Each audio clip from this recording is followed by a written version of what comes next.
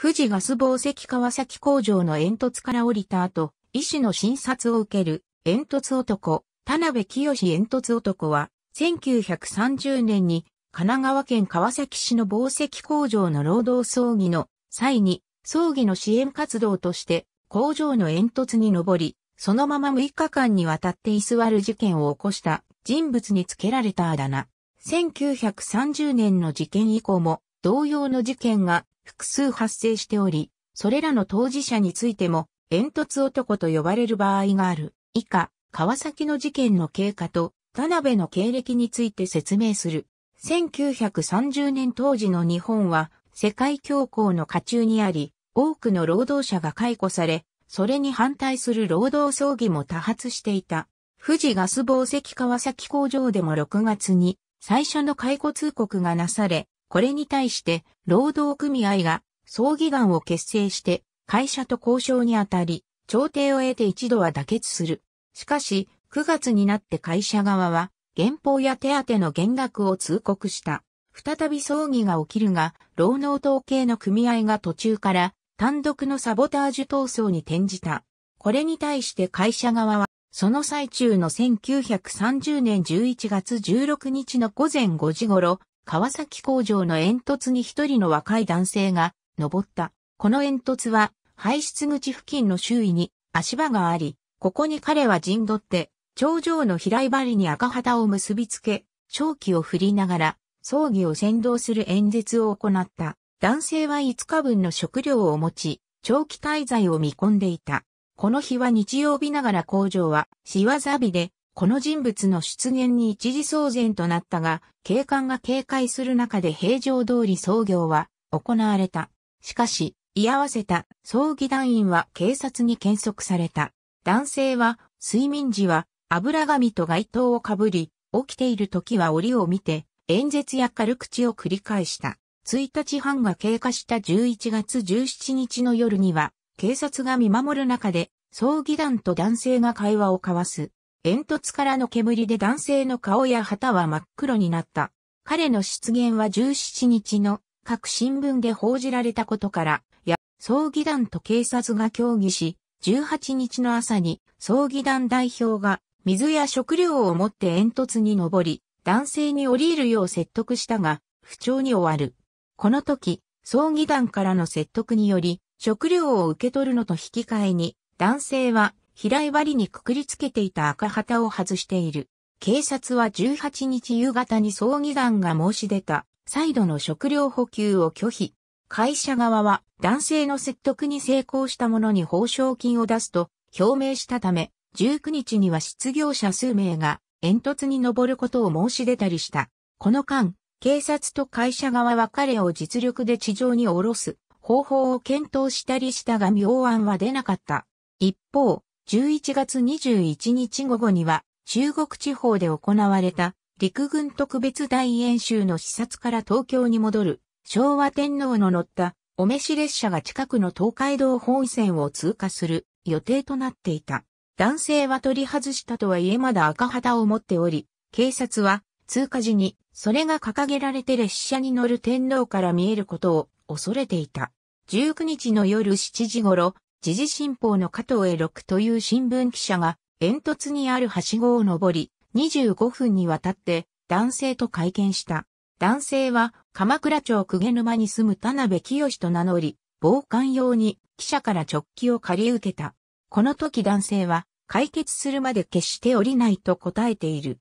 この会見内容は翌日の時事新報に掲載され、男性の名前が明らかにされた。20日に再度葬儀団関係者が煙突に登るが、男性は改めて葬儀の完全解決を要求して、なお滞在を続けた。その日の午後、男性の実刑である社会学者の田辺樹里がもう一人の兄と共に現場に赴いた。ことぶきとしが事件解決後に雑誌中央公論に寄稿した文章によると、その上で、葬儀の解決と弟の生命の問題を切り離して、後者について、所長、工場長、葬儀団責任者での会談を開くことを提案する。この提案は、所長の同意を得、ことぶきとしは、工場長と葬儀団を説得してそれぞれ同意を取り付けた上で、夜11時に所長に開催を求めたが、必要を認めないと拒絶されてしまったという。警察は会社側に葬儀解決を働きかける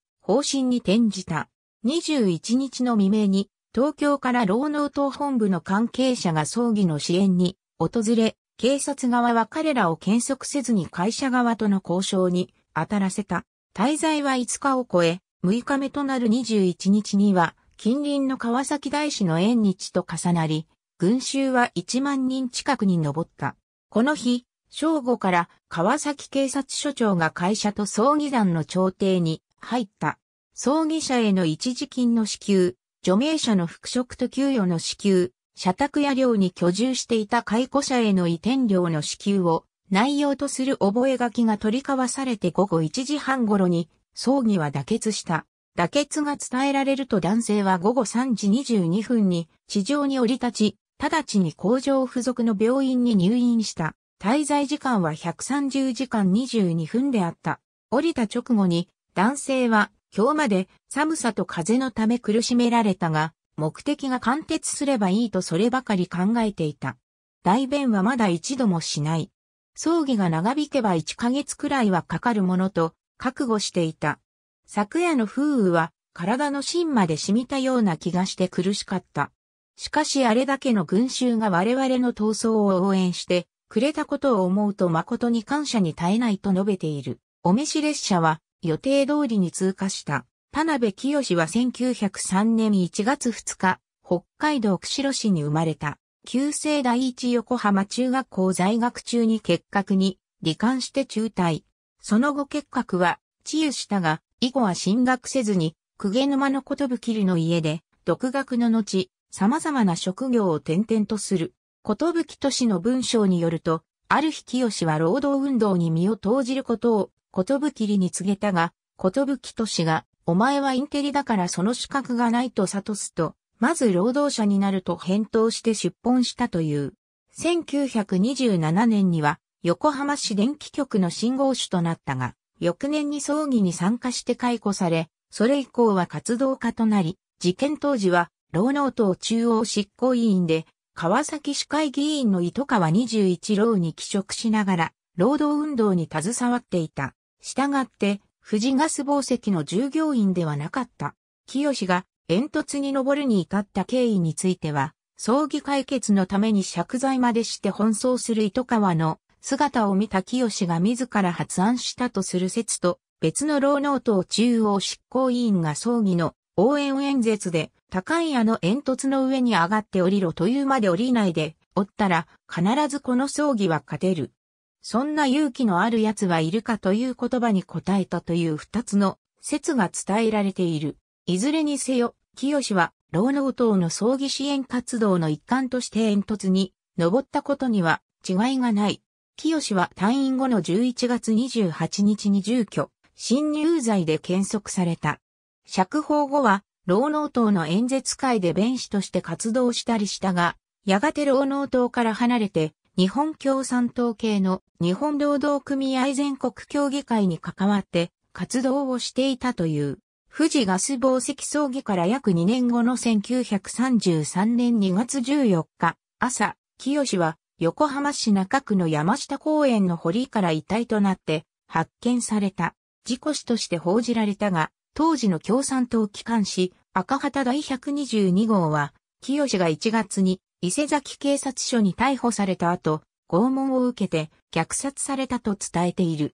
葬儀の舞台となった富士ガス紡績川崎工場は、1939年に東京電機に売却の後、太平洋戦争中の川崎大空襲で消失し、跡地は川崎競馬場になっている。ウェブ版尼崎地域史事典、アペジアの煙突男の項目に、尼崎市内で発生した模倣事件が紹介されている。当時工場には、総同盟系と労農党系の二つの組合があった。この時葬儀を行ったのは、総同盟系の組合である。11月17日付の東京朝日新聞は、大煙突のてっぺんから応援、景観をて古ずらせる若者という見出しであった。天皇は11月20日に、岡山県の宇野港から戦艦霧島で横須賀港に向かい、11月21日午後2時30分、横須賀駅発午後3時45分東京駅儀の